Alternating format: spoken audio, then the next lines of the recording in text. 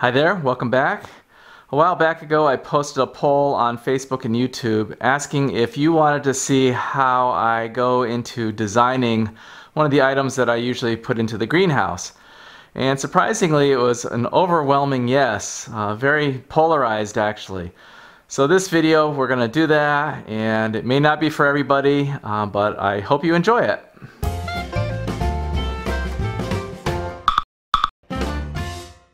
These videos are brought to you by our Patreon contributors. Our top contributors are TrueAquaponics.com, GlassBottleOutlet.com, GroPockets.com, and our latest supporter, Aquaponics.ai. Thanks for your support. As many of you may know, in past videos I've covered many topics on strawberries. I've done the vertical towers, I've grown them in the media beds, and I've also grown them in the deep water culture beds. So I've done several videos on those and as you can tell I do enjoy growing the strawberries. A few years ago I came across a couple of videos on some large hanging troughs of strawberries and they're set up where they can be raised and lowered to uh, different elevations and allows you to walk underneath them and then lower them down and harvest. So we're going to try to reproduce that at a much more economical solution than what the commercial ones are available at. I'll start in with showing some of the initial diagrams and then go into the initial uh, component design. So a lot of these videos are going to be pieced together and hopefully they'll make some sense once we get to the end of this entire series. Track down my old CAD files of the hoop house and print out a couple of hoops just as my example. And what I want to do is somehow attach two pulleys to the uh, existing cross member that I have and then uh, going down from at each cross member uh, continue these pulleys going down and then have a a bar that connects them all together. I'm just going to draw them right over everything else. So that way that whole shaft will turn and then have uh, a cable going up and over each set of pulleys. So this is a, a cable.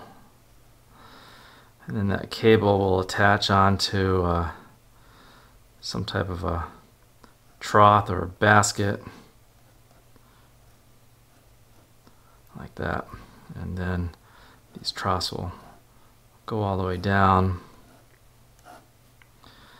and connect to the other pulleys. So that way when you pull on this one to go down, that whole assembly will turn, which will then raise uh, this uh, basket up. And the aim is to keep this up overhead so somebody can walk underneath that. And while this one was down, you'll have somebody more at picking height that can uh, pick everything that's in here while this one is up overhead. And I think I have enough clearance. These are nine or nine and a half feet where I can raise that up and get this one down to maybe five or five and a half feet up. So it should be right at uh, a fairly good picking level. So I did a little bit of scrounging and my first thought on doing a solution is to hold everything up with these really cheap um, bearings. I can get these for about $5 a piece on eBay or Amazon and um, they're nothing spectacular but I'm not doing any high speed turning with it. And then I'm really cheaping out. And I'm thinking for the shaft to use a section electrical conduit and this is a half inch electrical conduit and uh, this is only like four or five dollars per 10 feet. The issue is that this is a three quarter inch or 0.75 inch bearing opening and this is 0.7 inches so I'm off by 50 thousandths. So when this is in here it just uh, shakes around a bit. And if I tighten up the screws on this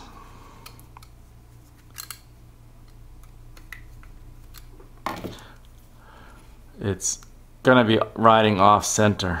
Um, normally I wouldn't really care about this if it's gonna be slow moving and not going to cause any problems but when I have a second pillow block next to this um, if they aren't perfectly aligned, it could be they could be tugging each other with the line uh, going between them. So what I'm going to do is take a piece of 25 thousandth shim stock. I bent it into a curve to meet the curvature of the bearing.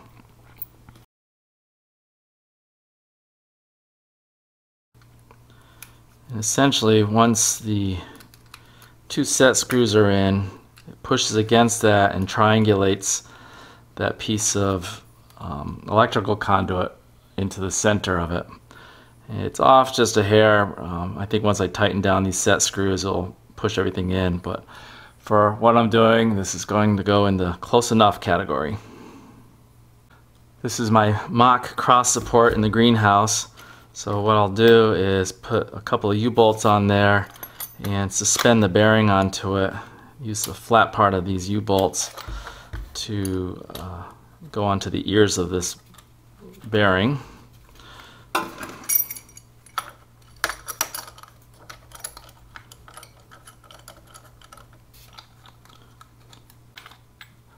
You're looking at it from top view here, but if we rotate it, it's now has this suspended from the uh, cross support in the greenhouse. Of course, these will get tightened up nicely.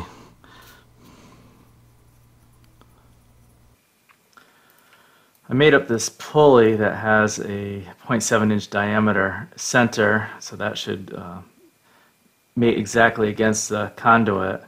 And then it also has this V shape to it, so the cable should sit in here and keep it from slipping out.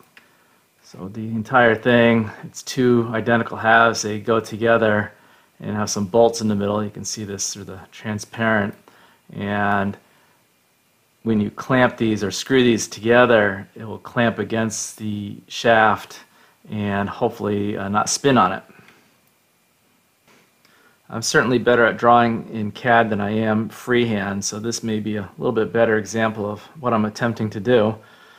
Here is all of the uh, pulleys attached to these crossbars. And don't forget, this is just a cross section of a small thing. These things would just keep extending down as long as I wanted them to.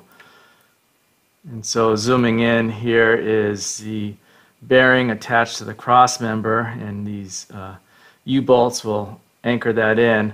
These are just some stock U-bolts that I grabbed off of uh, McMaster's site for the CAD file, so they won't be sitting up like this. This will all be anchored in nicely. So that holds onto the two ears of the bearing, and then the uh, pulley will be clamped to the uh, electrical conduit, which is then uh, transferring its weight into the uh, pulley. So overall, uh, this should not be bowing at all because all that weight is right in here and then getting transferred into the frame of the greenhouse. So I think it's a pretty good solution to um, get all these things interconnected without uh, having to rely on some heavyweight um, rods interconnecting everything together. Okay, so here's the first version of the pulley. Looks pretty good. I've already put the bolts into it to uh, make sure it all fit together.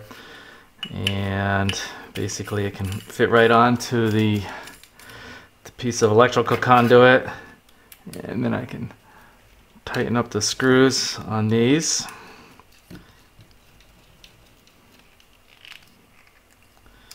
Get it nice and tight.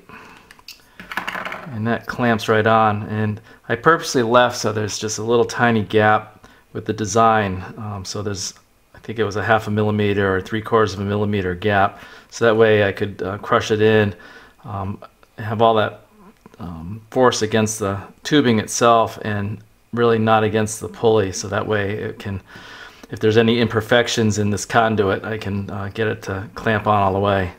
And that is on there. I cannot turn it at all. So I think uh, this particular design will work really well for um, holding on to that. And of course then the bearing will be right next to it like this. Okay, our first hang up with the project. I got some of this stainless steel uh, aircraft wire, nice and flexible and it won't rot out. Um, it's rated for, I think it was 360 pounds and so that's more than enough to support the weight of everything. And when I set it into the pulley, it just slips in here. um, and I need it to grab in. I was hoping that V-shape would really grab onto the uh, pulley, just sort of like how a regular belt would.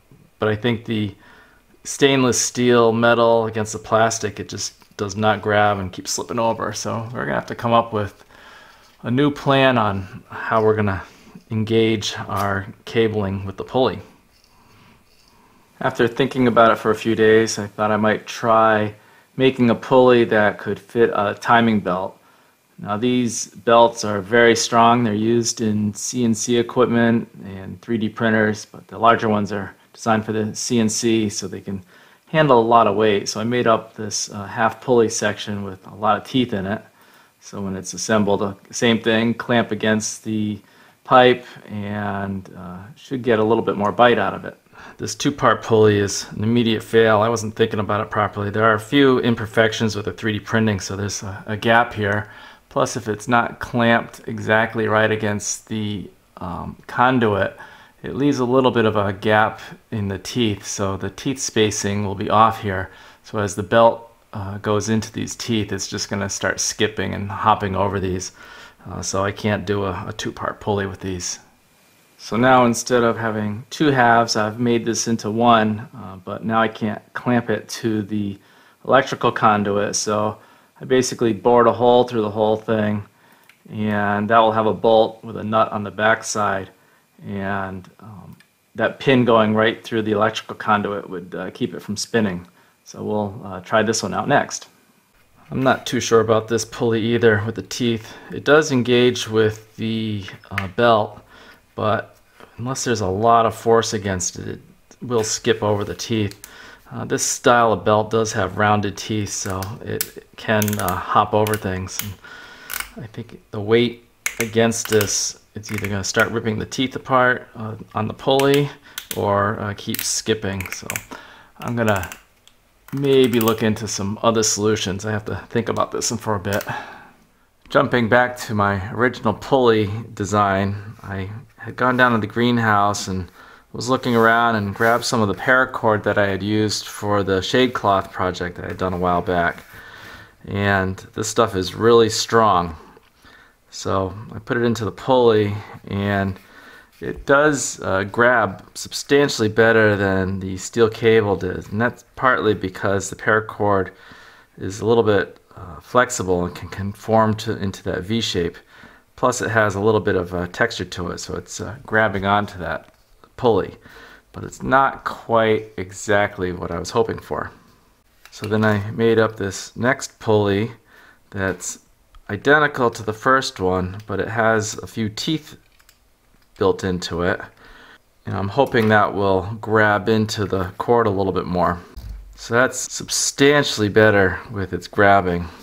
This one turns fairly easily and getting that into here, it grabs fairly well, especially if I have you know, 50 pounds of force pulling down on that, it may uh, grab in pretty well. So it's going to take a little bit more thought on that. I'm not overly thrilled about hanging all that weight off a paracord. Um, so this is pretty strong. I think it's rated for 300 and some odd pounds. So if I did do something like this, uh, maybe I should invest in a slightly larger size of paracord. And then I started thinking about the pulley I had designed for the timing belt and made up this another pulley that has some sharper teeth on it and just have it sitting on here. Now this doesn't grab a whole lot, but I could also do an entire wraparound. It really would uh, be like a 270 degree wrap, something like this, where it's coming up in the bottom, then around, and then over to the other pulley. And uh, I'll just do a like this. And that has a lot of friction with it. Um, so that's another option that I could do if my timing belt idea doesn't uh, work out. I'm back looking at the timing belt pulley. This one is a 3 millimeter pitch versus the other one that's 2, so these teeth are a little bit bigger. I also set it up so that there's a set screw in it instead of driving a screw all the way through it. I wasn't overly thrilled about having to drill holes through all of the axle going through the whole system. So I'm going to try out these two set screws looking at the cross-section diagram of this, where we split this in half, the two screws just come down through a hole in here, and then there's a lock nut on here that sets into here because these are going to be 3D printed. I can't really do threads in the plastic. They'll just rip out, so this lock nut will just anchor into here and allow the screw to uh, push itself into the conduit a little bit. Here it is all printed out. Inside the nuts are already set in place with the set screws in there. And it goes right onto the axle nicely.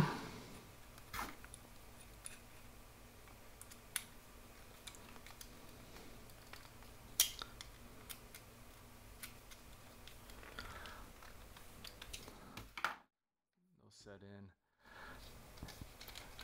in grabs on very nicely. So that works just as well as doing a, a friction fit with clamping two pieces together. This isn't going to go anywhere.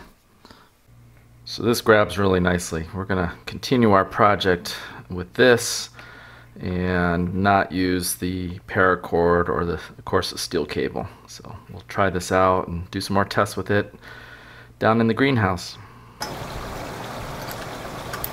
Now I'll put up a couple of these just to do a little bit more of a real world test. See uh, how all this will work out.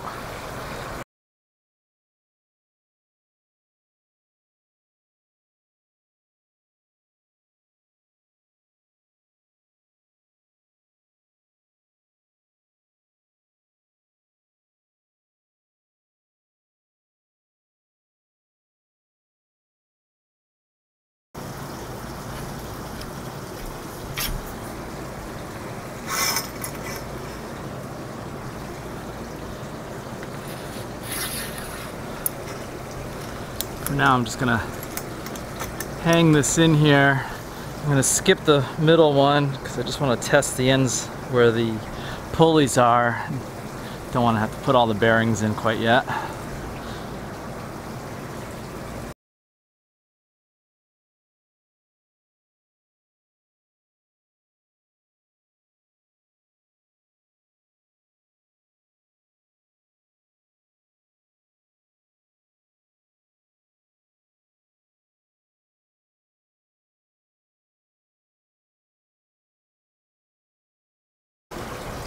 I'll just set the set screws into the axle.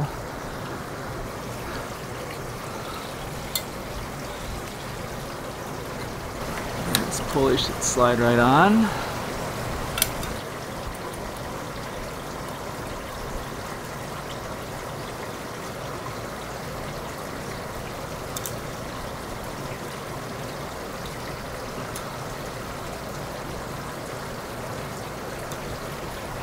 This certainly goes in the don't try this at home category.